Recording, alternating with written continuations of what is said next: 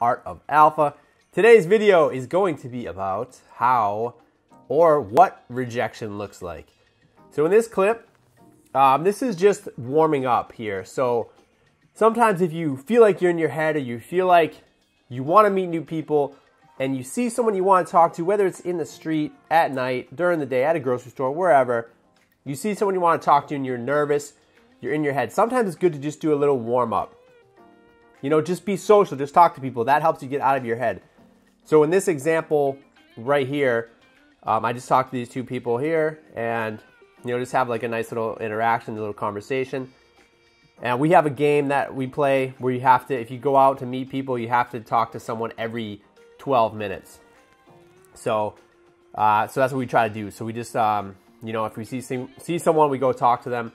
So here, this is what rejection looks like. So this is a uh, clip right here. Um, I saw her, went over and talked to her. She said she had to go get her Uber. She didn't really have time to talk. So that's what it looks like. So that's the biggest fear. So if you have a fear of rejection, there you go. That's what it looks like right there. Uh, that's the worst thing that can happen. So she's just not interested, walks away, busy, whatever it is. Just don't take it personally. And this clip, same thing. Um, this one I go over and talk to her. She says, Oh, I'm busy, I'm not interested, whatever. So that's what rejection looks like. So just so I just turn around and come back. So that's it. So you know that's that's the whole thing. It just um, you were all guys worry so much about the rejection. What's going to happen if she's not going to like me? You just don't take it personally. So you have to take action, and then just don't take it personally.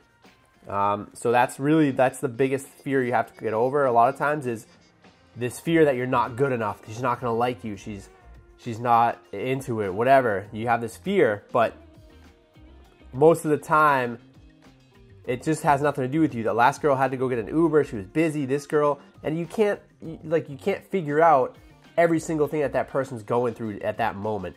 You don't. You have no idea. So just don't take it personally. Take action.